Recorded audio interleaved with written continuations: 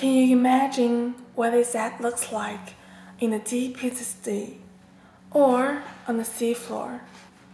Is it dark, cold, dead and silent, or is something exciting happening? Today, let us going down to the deepest sea and talk about hydrothermal vent on the seafloor.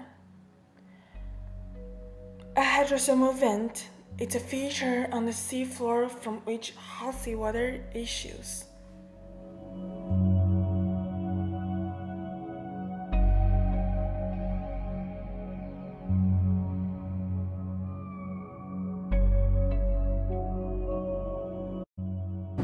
I'm very glad to have Diluni here for us to talk about the hydrothermal vent. So, since you've been studying at the hydrothermal vent on Mariana Arc, can you tell us about where this submerging hydrothermal vent occurs mostly?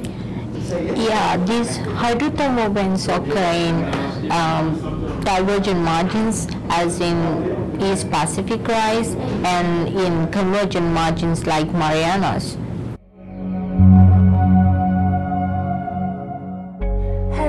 Vent exists because the Earth's interior is hot and has large amount of water on its surface.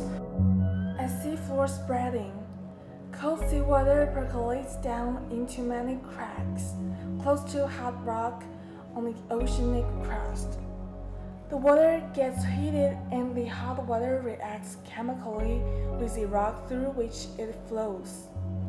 The hotter and more acid the water gets, the more minerals it can dissolve. So, as it heats up, it has also become rich in elements like iron, sulfides, and copper.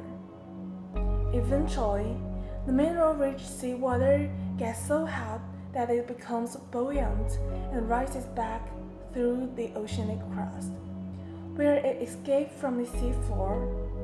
Here, it may form a chimney, a smoker, and a hydrothermal plume.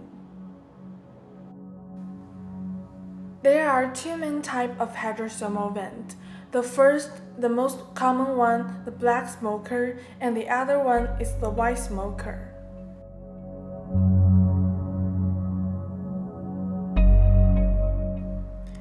The main difference between the black smoker and white smoker is the temperature.